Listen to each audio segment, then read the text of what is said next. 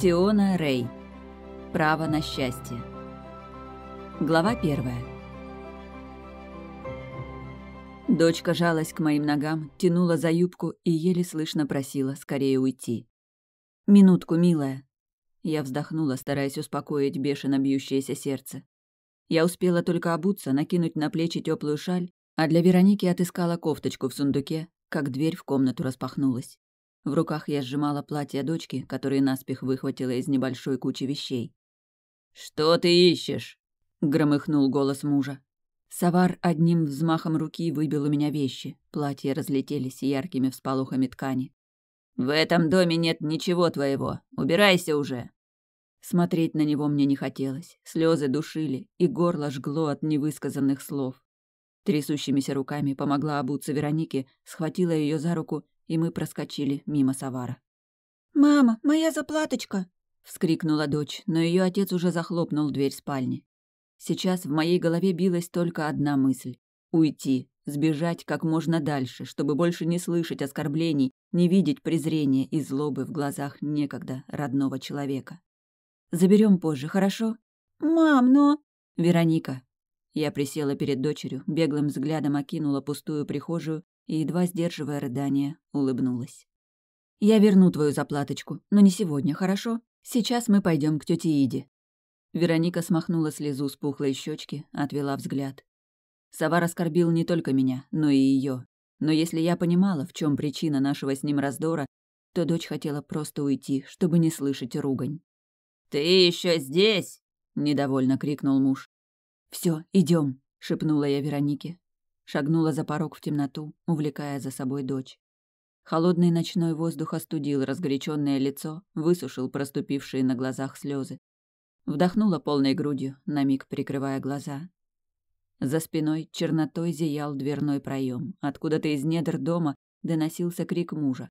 А следом раздался глухой звон. Кувшин полетел на пол или в стену. Савар часто оставлял нас без посуды, но в этот раз все было по-другому и оттого я не знала, как себя вести.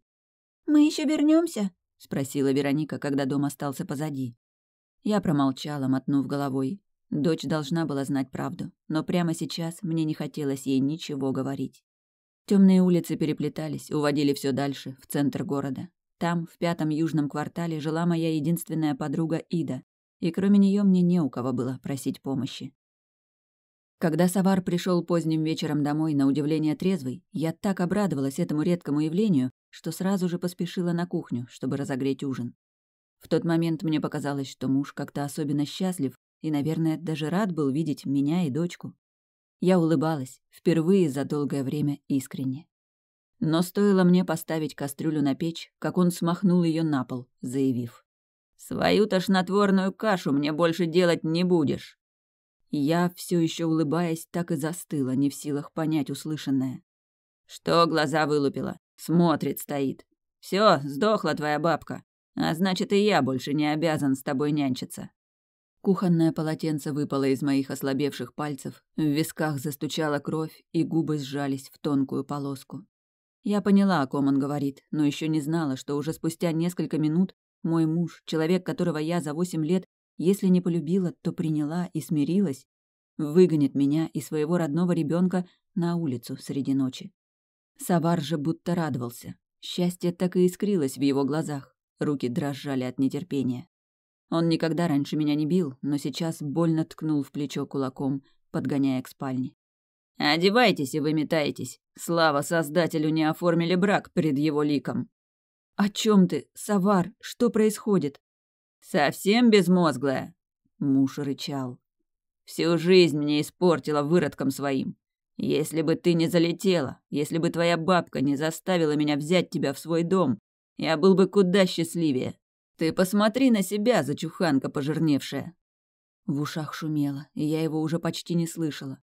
Столкнулась взглядом с ничего не понимающей дочерью, и именно она все осознала первой. «Мам, я сама оденусь». Время замерло, и воздух будто стал плотнее. Я наблюдала за происходящим, словно со стороны. Наклонилась к сундуку, вытащила свою шаль, кофту дочери. На щеку упала первая дождевая капля. Я тряхнула головой, прогоняя воспоминания. Осмотрелась по сторонам, крепче сжимая ладонь дочки, и только увидев перед собой фонарь над входом в дом Иды, позволила себе успокоиться. Подруга меня никогда в беде не оставит, обязательно поможет. Я занесла руку, чтобы постучать, и в этот момент серые тучи прорвались дождем. Дочка молчала, ничего не спрашивала и не плакала, и за это я была ей благодарна. Успокаивать ребенка в то время, как сама едва держусь, то еще испытание. Послышались шаги внутри дома, скрипнул засов, и дверь отворилась, обдав нас теплым воздухом. Глаза заслезились при свете десятков свечей и огня из камина. Ида не любила даже малейший полумрак. «Создатель!» — воскликнула подруга, прижимая ладони к пышной груди и пошутила в своей привычной манере. «Чего кислые такие, будто умер кто?» «Ты не удивишься и даже скажешь, я знала, что так будет», — грустно улыбнулась я. Ида растерянно кивнула, отступая. «Давайте быстро внутрь». Вероника первой шмыгнула в гостиную, предварительно разувшись. Я задержалась всего на минутку у двери, чтобы вкратце объяснить Иде цель нашего неожиданного визита. Подруга, выслушав, помрачнела.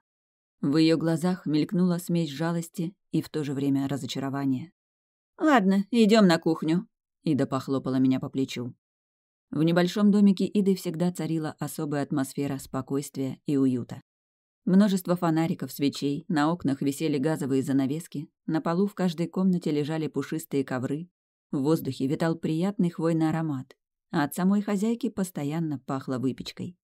Я любила проводить время здесь, а Ида никогда не была против, часто приглашала и меня, и Веронику по поводу и без.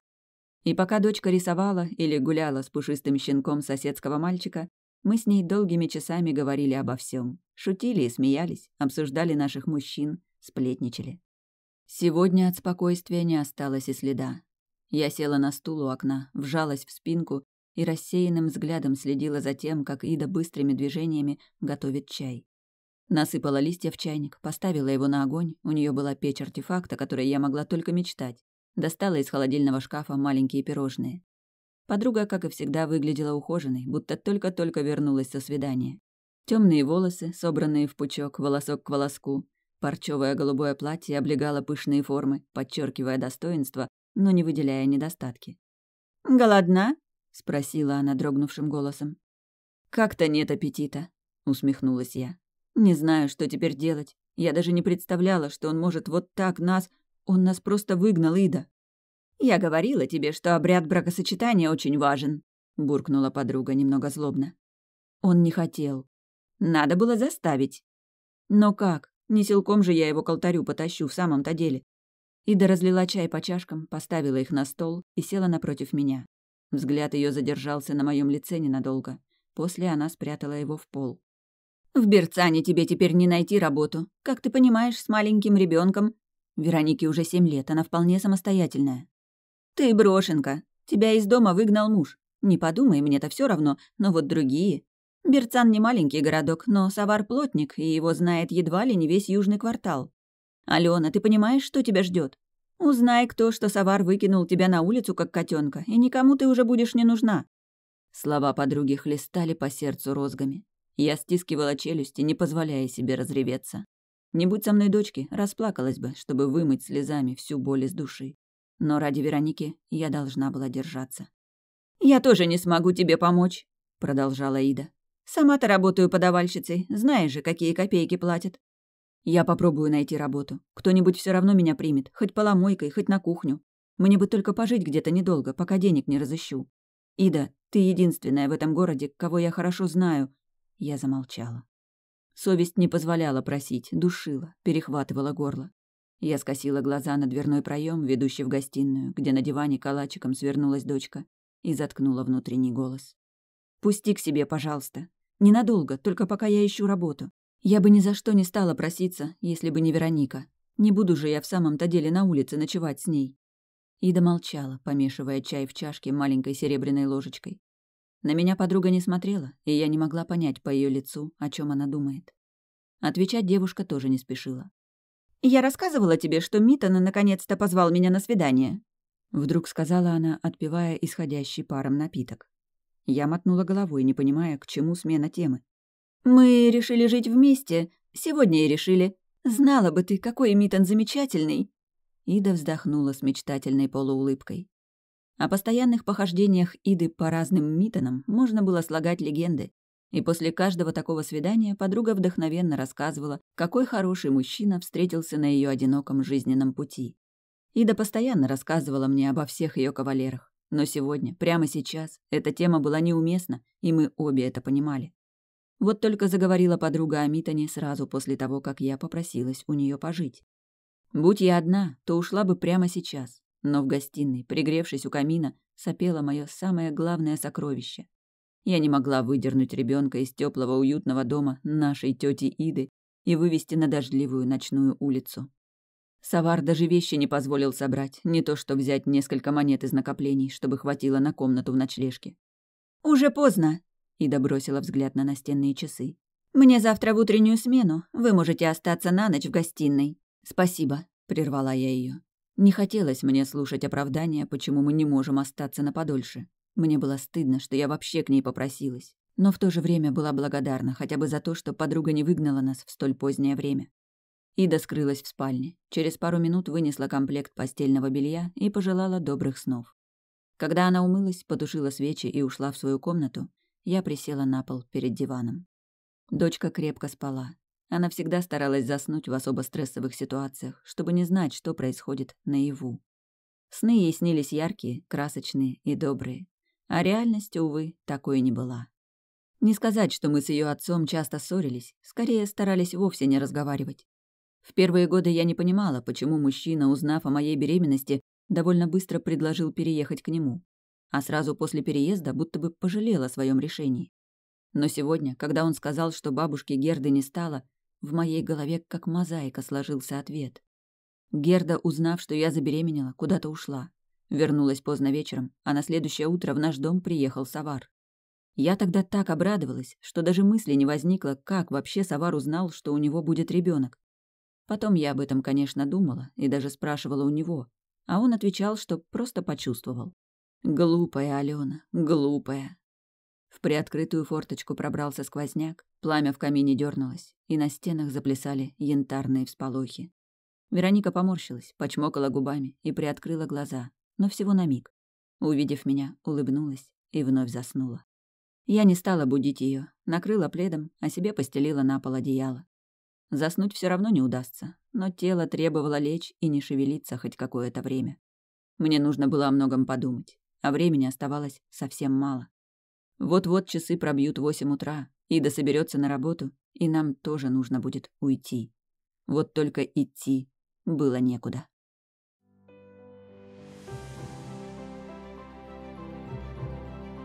Глава вторая.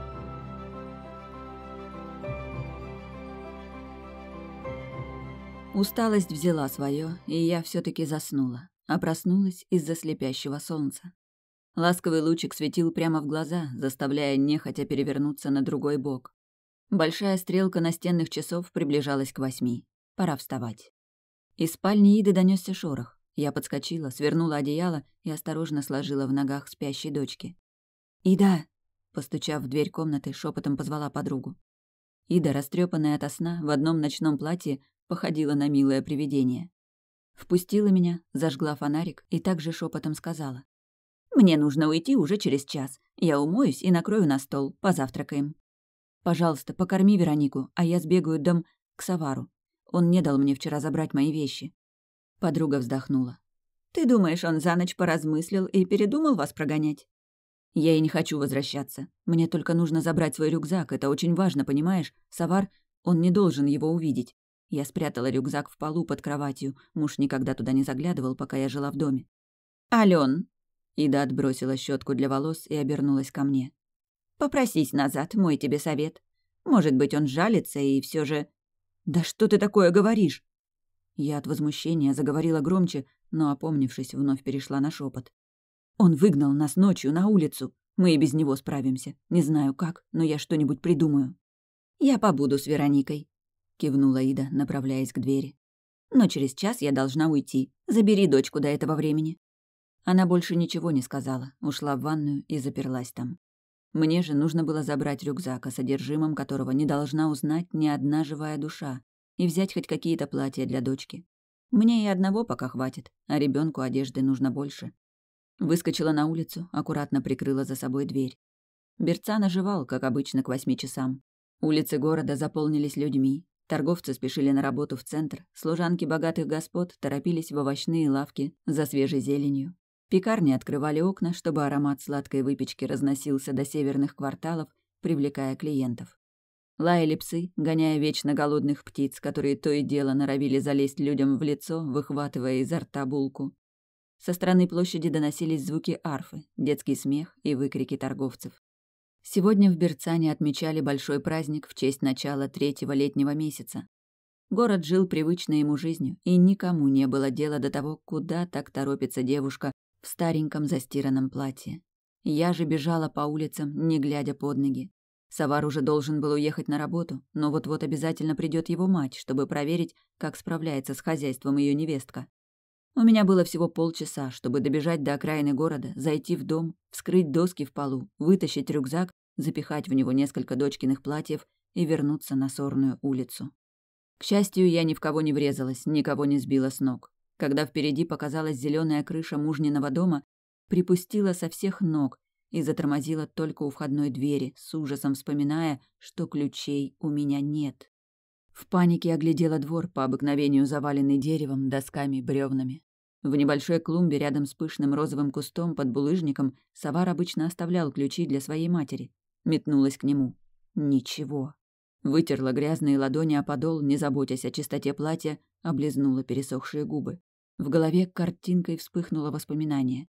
Прежде чем Савар вернулся домой, я открыла окно в бане, чтобы проветрить и просушить помещение. Если муж его не закрыл, то есть шанс попасть внутрь. Я воровато осмотрелась. Наш дом находился в отдалении от других, потому что Савару нужно было как можно больше земли. У нас единственных в этом квартале был огород, да не какой-нибудь, а размером едва ли не с целое поле. Вряд ли кто-то заметит, как я лезу через окно. Увидев, что створка так и осталась открытой со вчерашнего вечера, я едва не закричала от радости. Радоваться было особо нечему. Мне придется пробираться в дом, где я жила много лет, через окно, будто воришки. Но я была в нескольких шагах от своего тайника, и вот-вот заберу то, зачем пришла. Главное, чтобы мой рюкзак никому не попал в руки.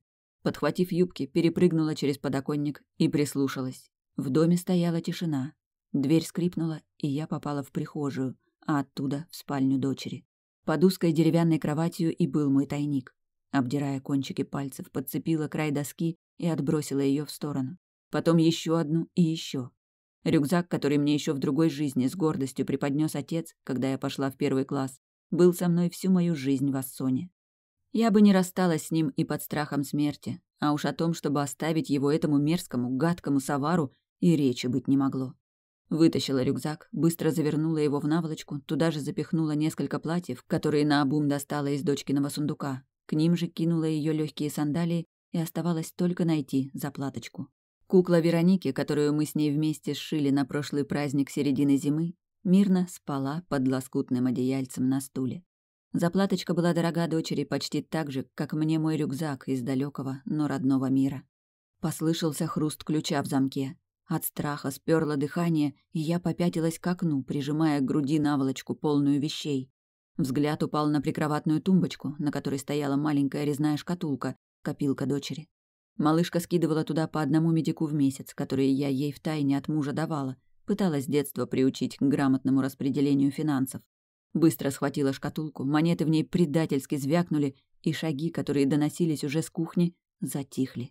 У меня была всего доля секунды на решение. Трясущимися руками рванула створку окна, выбросила вещи, следом вылезла сама, не выпуская из руки копилку. Нам эти несколько медиков могут жизнь спасти, а Савару они ни к чему. И уже когда я приземлилась на полусогнутых ногах, подхватила узелок и бросилась бежать без оглядки, сзади донесся женский голос. «Стой, мерзавка!» Мать Савара пришла немного раньше, или это я просчиталась?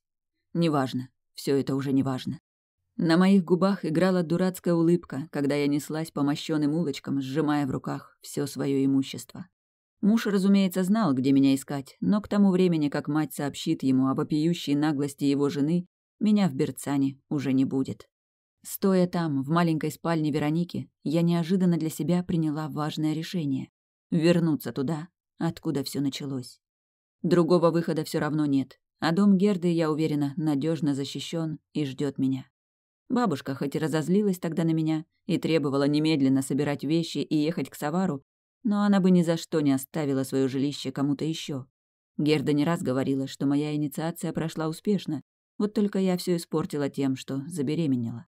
Новость о том, что у меня будет ребенок, потрясла меня до глубины души в мои 18 лет. Герда просила избавиться от... Даже думать об этом сейчас было страшно. Тогда тоже было страшно, и я рискнула оставить Веронику, и ни разу об этом не пожалела. Дыхание сперло от быстрого бега. Я присела на крыльцо всего на минутку, чтобы прийти в себя, и уже после вошла в дом. Ида сидела на диване, нервно постукивая на маникюренными пальцами по деревянному подлокотнику, и, увидев меня, подпрыгнула на месте. «Где Вероника?» Я разулась, оглядываясь. «Завтракает. Мне уже пора выходить. Грерок с моих плеч голову снимет за опоздание». «Прости, я и так торопилась. Но все получилось. Я забрала и свои вещи, и вещи для дочери. Алена, я тороплюсь!» Недовольный резкий голос подруги будто окатил меня ледяной водой с головы до ног. «Мы сейчас уйдем, не волнуйся», — тихо ответила я, направляясь на кухню. Вероника сидела в углу на стуле и грызла баранку. Заметив меня, улыбнулась.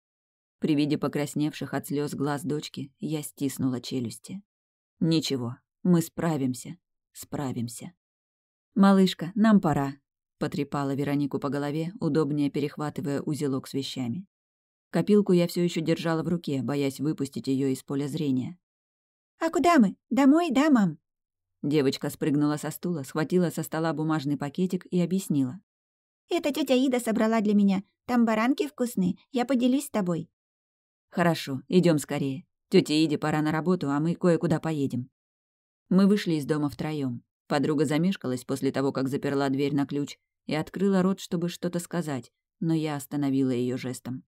«Спасибо за то, что приютила на ночь. Я уже решила, где мы будем жить, и тебе не о чем волноваться». Ида облегченно вздохнула и бросилась ко мне с объятиями. «Ты приходи в гости, обязательно приходи». «Конечно», — кивнула я, понимая, что больше никогда не появлюсь в этом доме. Я смотрела ей вслед, провожая до поворота, Обрывки воспоминаний пронеслись в моей голове, показывая прошлое, когда мы с Идой познакомились совершенно случайно на празднике сбора урожая. И как потом ходили друг к другу в гости, и как она нетерпеливо ждала рождения Вероники. Даже имя для моей дочери мы придумывали вместе с ней, ведь Савару было совершенно все равно на то, как будут звать его ребенка. Мы были очень близки, и я правда думала, что ближе нее у меня никого нет, не считая дочки, конечно. А когда меня коснулась беда, то самый родной, самый дорогой человек отвернулся. Ее можно понять, ведь брошенка с ребенком позор. Дружить с такими не позволяет воспитание, но я не хотела понимать. Я бы ни за что не оставила Иду, окажись она на моем месте. Вероника потерла глаза рукой, в которой был зажат бумажный пакетик. Второй она держала последний кусочек баранки, доедая его. Я смотрела на дочку, и сердце сжималось от боли. Я понимала, что все, через что пришлось пройти мне в десять лет, теперь предстоит и ей. Разве что у меня тогда была бабушка Герда, а у Вероники есть родная мама, и я ни за что не дам ее в обиду. Как бы нас ни встретили в деревне. А нас не встретят и уж точно не примут назад. Когда я уходила, Герда мне сказала, что если жизнь вновь приведет меня в отшельники, я должна быть готова к тому, что мне там не будут рады. «Мы пойдем домой, мама?» Пора рассказать дочке все как есть. Да, милая, но мы теперь будем жить в другом месте, в отшельниках. Помнишь, я рассказывала тебе о своем детстве? Фу! Дочка скривила губки, проглотив еду. Там же нет других детей. Есть, конечно, что ты? Ты обязательно с кем-нибудь подружишься, вот увидишь. Но ты говорила, что с тобой никто не дружил. Я была не такая, как остальные дети, понимаешь? Я перевела дыхание. Вероника не знала, что ее мать в десять лет погибла по нелепой случайности, а создатель привел ее к огороду бабушки Герды и там оставил. Местные обзывали подкидышем, и дружить со мной никто не хотел. Я вела себя странно. Ну, всем так казалось. На самом же деле я была до чертиков напугана. «А какая ты была? Ты никогда мне не рассказывала». «Когда-нибудь ты узнаешь». Я чмокнула дочку в лоб, погладила по щеке. «Нам пора. Нужно найти того, кто согласится отвезти нас. В шкатулке сиротливо жались к углу пятнадцать медиков. За такие копейки нас могут отвезти разве что за город и там оставить. Но больше денег не было, а добраться до отшельников пешком с ребенком практически невозможно. Вероника сильная девочка, но идти по разбитой, заросшей сорняком дороге несколько часов она не сможет. Обойдя все точки, где обычно стояли пустые повозки и возничие в ожидании клиентов, несколько раз выслушав не самые приятные шутки по поводу предложенной мной цены, мы наткнулись на мальчишку лет пятнадцати. Паренек сидел в тени у трактира, привалившись к стене. Рядом с ним дремала тощая лошадь, а вместо крытой повозки, как у остальных извозчиков, эта лошадка была запряжена в телегу, наспех сколоченную из гнилых досок. «Добрый день!» — я улыбнулась как можно шире. Мальчишка лениво приоткрыл один глаз, окинул меня и Веронику внимательным взглядом. «Чё надо?» «Вы оказываете услуги перевозки?» «А чё, устраивает?» Парень хмыкнул, кивнув на телегу. «За сколько отвезешь в отшельники?» «За десятку». Всего мгновение подумав, ответил молодой возничий. Я сдержала ругань. Хотелось пнуть колесо телеги и уже пойти пешком, но здравый смысл подсказал, что нужно уточнить, какую именно десятку парень имеет в виду. «Медиков, конечно», — раздраженно ответил он. Спустя несколько часов, проведенных за разглядыванием однообразных видов пшеничных и кукурузных полей, мы, наконец, въехали в графство фьордов. Именно здесь, во владениях нищего графа Неда Фьорда, находилась единственная деревушка Отшельники. И называлась она так не просто так. В поселении расположились дома самых настоящих отшельников. Людей, которые не признают королевскую власть и всячески стараются избежать ее влияния. Восемь долгих лет я жила в отшельниках, а после переезда к Савару ни разу не возвращалась. Я приподнялась, чтобы лучше видеть лес. Проехать через него не составляло особого труда. Если от графства до Бирцана дорога давно поросла высокой травой, то в лесу была особая природная тропинка, шириной достаточной, чтобы по ней проехала повозка или телега. Я помнила ее четко, не раз по ней ходила, чтобы посмотреть на поля незнакомого, чужого мира. Просто поля. В город мне запрещалось ходить до 18 лет. Вот уже и лес остался позади, а сразу за ним я увидела дом, в котором нам с Вероникой предстояло жить. Сердце учащенно забилось, взгляд метался от домика Герды к другим, соседским. Руки начинали трястись, стоило мне только подумать, что уже сегодня я должна буду сообщить старости о своем возвращении. Или не сообщать.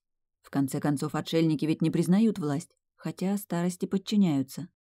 На этой мысли я хохотнула, вспомнив, по какой именно причине деревенские слушаются старика Шерпа.